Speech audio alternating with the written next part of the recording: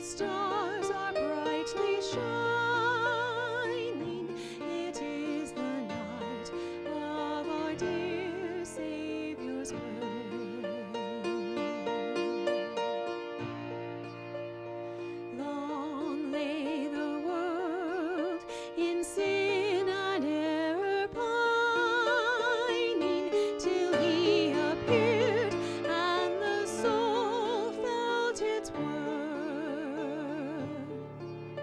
a three.